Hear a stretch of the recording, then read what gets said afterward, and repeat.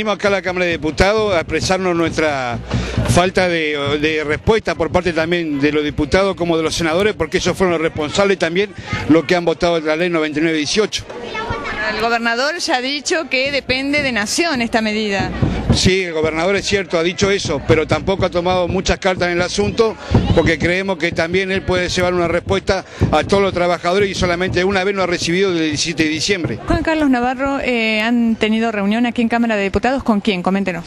Con el presidente de la Cámara de Diputados nos hemos reunido y ahora los compañeros están participando de una sesión en donde nosotros lo que estamos solicitando es que los legisladores, los diputados provinciales, que por unanimidad aprobaron la ley 9918, se expresen ante esta actitud del gobierno provincial y de algunos actores que han salido a cuestionar la ley, a plantear de que es inconstitucional, a decir que genera perjuicio a la caja provincial.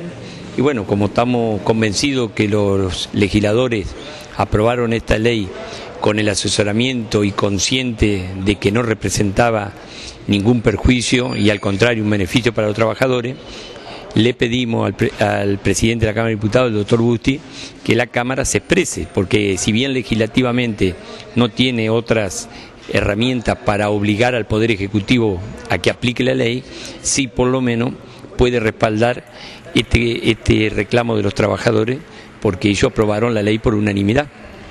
¿Qué les ha dicho el doctor Busti?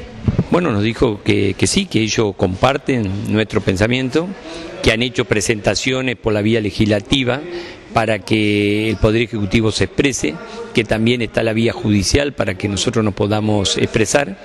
Y en esta sesión que se estaba tramitando en la Cámara de Diputados, le va a hacer llegar a los diputados para que se expresen este, públicamente con relación a este conflicto.